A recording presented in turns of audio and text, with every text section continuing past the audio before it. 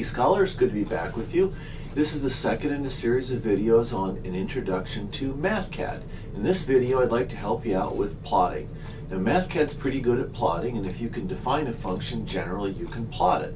You can do 2D plots and 3D plots including surface and contour plots and uh, it's pretty straightforward. So let's get started. Let's go to my computer and let's do some plotting.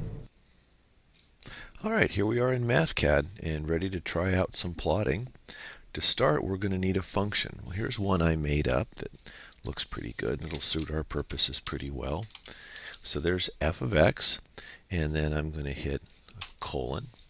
Full colon gives me that colon equals. That's the equal sign that MathCAD uses uh, when I want to tell it something, when I want to make an assignment. So I'm going to do this. There's sine x, and I'm going to divide that by x squared, which would be okay, except if x is 0, that's going to be 0. So that's not going to work. Let me add 1 to it. All right, so that's defined everywhere, and it has a nice smooth curve. Now, let's do a 2D plot, an xy plot. There's a couple ways to do it. I can go to the graph toolbar, and I can select it there if I like. I can go to Insert, hit Graph, and just hit that. Or I can use this uh, shortcut, the ampersand sign. Now, or the I'm sorry, the at sign. Now, or I can use this, the at sign. Now, why they picked that, I don't know. There's a finite number of keys on the keyboard. Somebody picked that a long time ago, and it works fine. So I'm just going to go to my keyboard, hit the at command, at button there, right above the two, and I've got this. Now, this is a ready to go here. All I got to do is fill in a couple of these boxes. And there's six boxes to fill in. right there in the middle, that's where I put the x. That's where my independent variable goes. Here I'll put f of x. That's the dependent variable. Then these boxes here uh, are the x range. And that box right there is the vertical range, the f of x range, or I guess we, we naturally call that the y range. Well, let's do this. Let's put an x there. There's f of x there, my dependent variable. And it'll fill these other boxes in for me. The default on MathCAD is that x goes from minus 10 to plus 10 unless you tell it something else.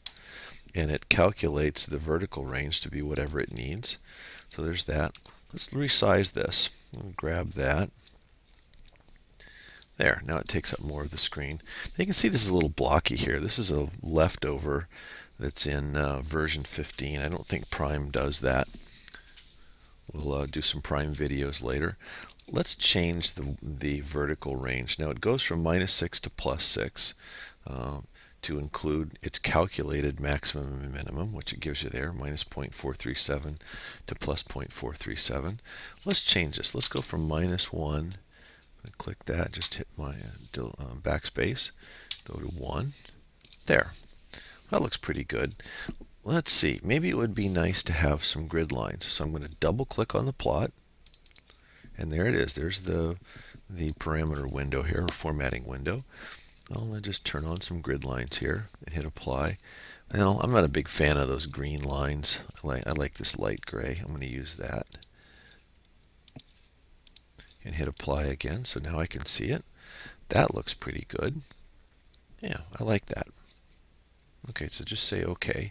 And there it is. Now, if I want to change x, I can. The x range. Let's go from minus 5 to plus 5. So there's that. So it's very easy to reformat this. I can move it around as I want to. I can resize it if I want to. Okay. Let's say I want to show also the derivative of this, but maybe I want to show it on a different uh, vertical scale. What I can do is enable secondary y-axis right there. And now I've got a second one over here. Well, how about this? Let's put the derivative right in there. There. So there's the red is the uh, function and the blue dotted line. Maybe let's make that a solid line. Go to traces and right there it's a dotted line. I'll make that a solid line. There.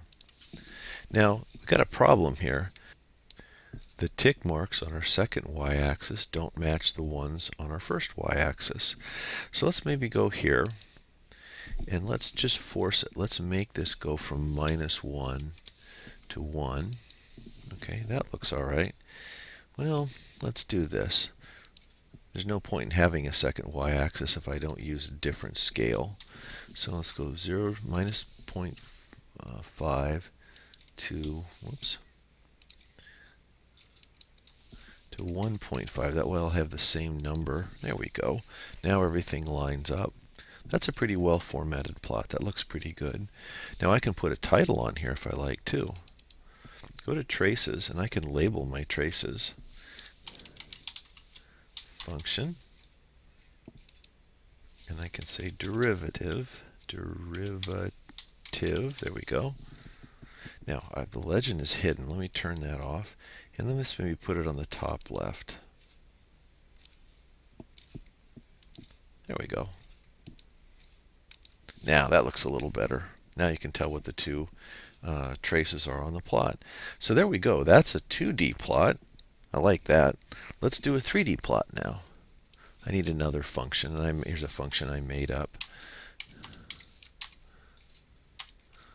Sine x plus sine y. Now, I want to have those both in the numerator and have a denominator.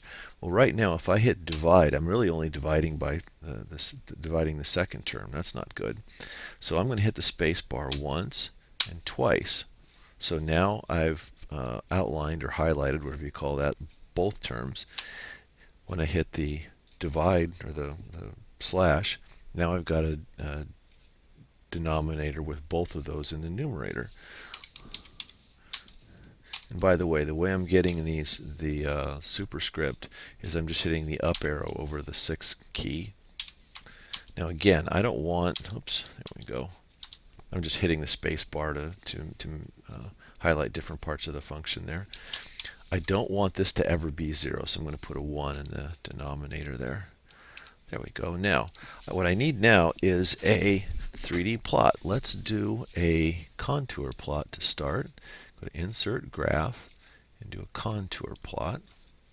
And all I have to do right now is hit F and do that. So that's what it looks like. Well, I don't know, guys. That's pretty rough. Let's see if we can fix this up a little bit.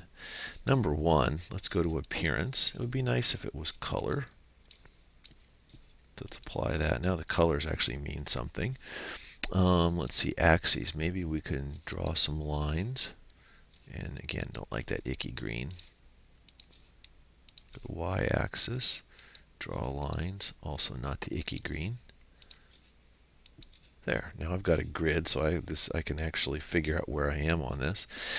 Yeah, those are pretty rough. It doesn't look like there's enough points used to calculate uh, the contour lines.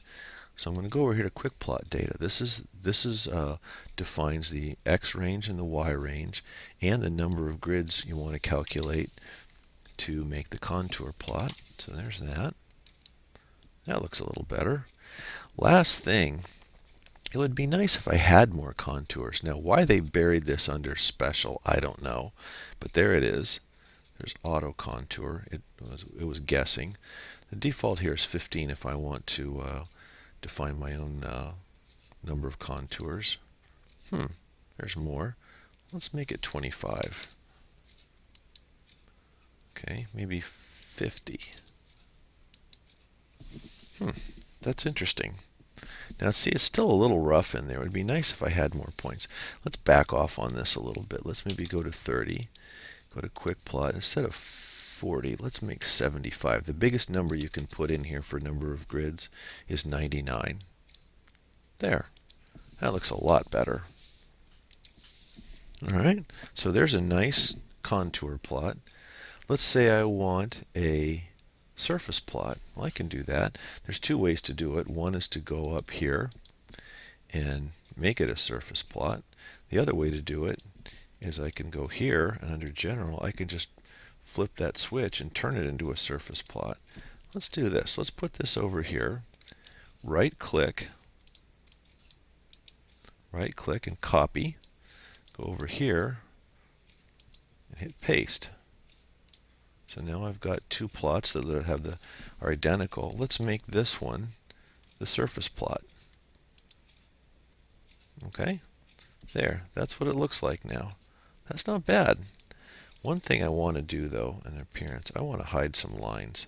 That's a little rough looking at that. There we go. Not bad. So there's the surface plot. It would be nice if I knew which one of those was x and which one of them was y. So let's go to axes, label, and I'll just call this x axis. And I'll call this y axis. Let's do that. There we go. There. Now, oops. There we go. That's not bad. So now I know which one is x and y. Okay, that's not bad at all. And of course, these can be copied and, you know, just when I do that, right click and copy, I can paste this into a Word file or anything else like you can with any other Windows app. So there you are. There's 2D and 3D plots. We've done a contour plot over here and a surface plot. Hope that helps, and we'll talk to you next time.